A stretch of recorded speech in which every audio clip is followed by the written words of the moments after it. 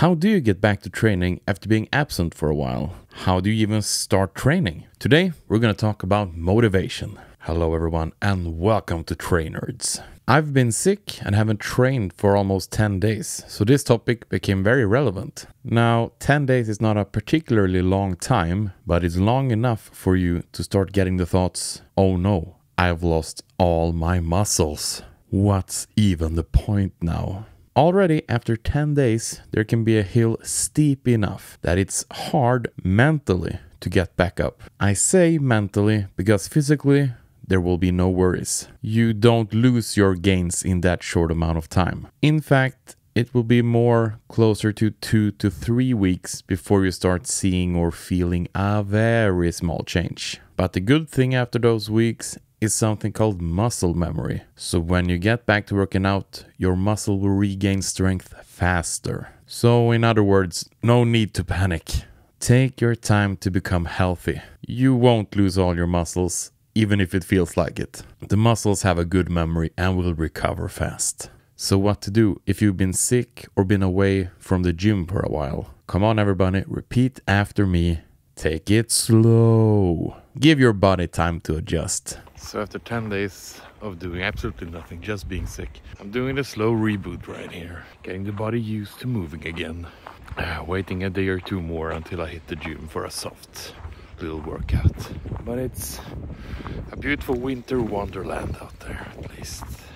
I started with some short walks and did some really light, playful workouts in the gym. Doing exercises I wanted to do because they're fun, on really light weights, just to warm up the engines again. We're in this for the long run, so don't rush in, risking getting sick again or injure yourself. So it seems it's all in one's head. All that you need is motivation, right? I get these questions all the time.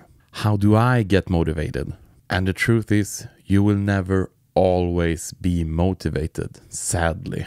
I got a great comment from a viewer which brings this up. Follow the compass north. Most people try to build motivation, but it is fleeting and you can't always control when it hits. By starting slow and building a routine, you're not cultivating motivation, you're cultivating discipline. Discipline is a choice and a skill you can hone over time. A person with enough discipline will choose to do their workout even when they don't want to, and that is the key to success. And for the longest, I had a real hard time putting words into how I felt when I was really deep into training.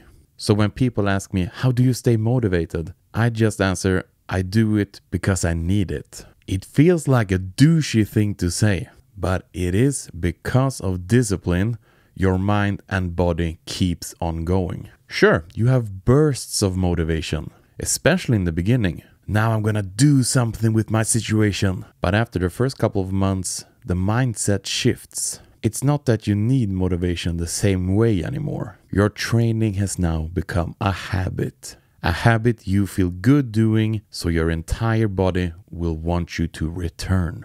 Personally, it gets most clear to me when I've been away from training for a while. Like with a sickness or if life happens and you miss a couple of workouts. I start feeling uneasy and restless in my body, and my mind turns to depressing thoughts really quick. Earlier in my life, I couldn't understand why.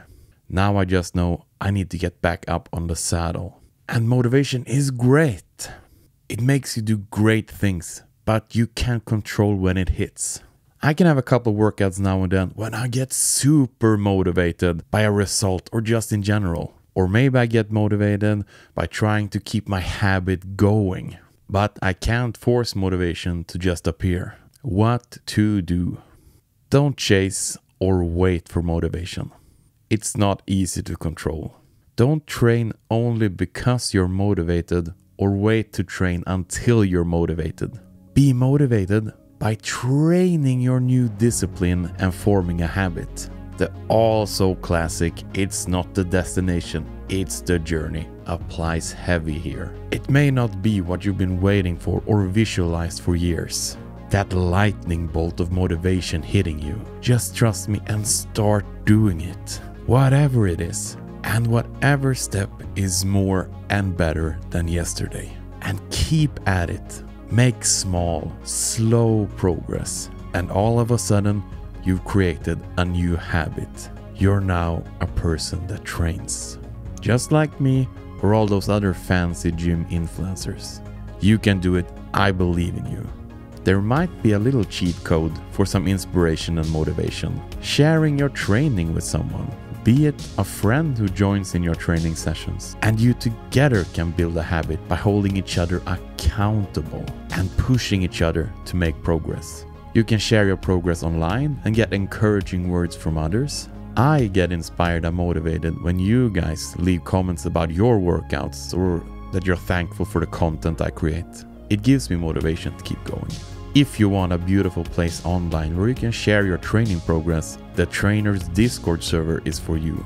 Talk about your lifts in the gym, talk about your cardio workouts, or just have a nice chat with like-minded people. Don't forget to like this video and subscribe to the channel. You can do this, you will crush this. You're all welcome here on Trainerds. And remember, you are awesome.